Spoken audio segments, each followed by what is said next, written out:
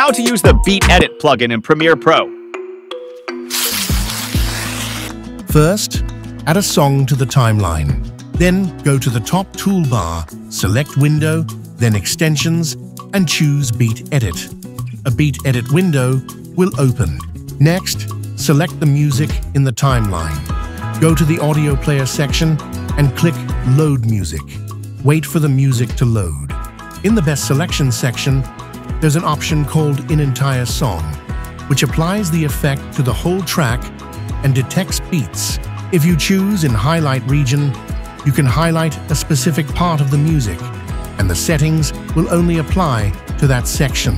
Additionally, by adjusting beats, you can change the sensitivity of the beat detection.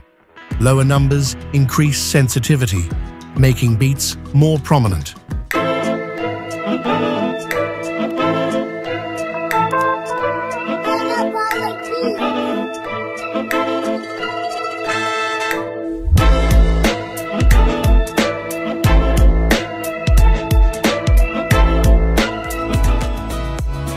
To mark the detected beats with markers, go to the toolbar, and you can choose whether to place the markers on the clip itself or on the sequence.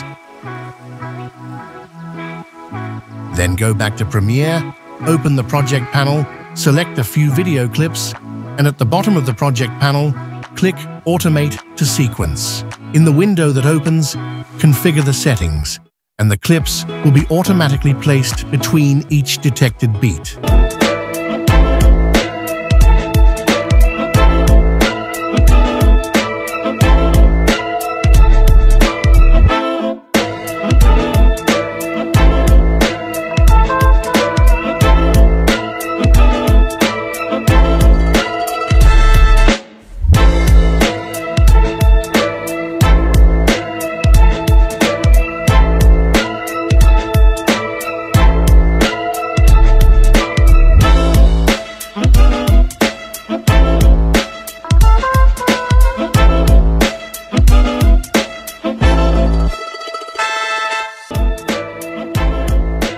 I hope to see you in the next one.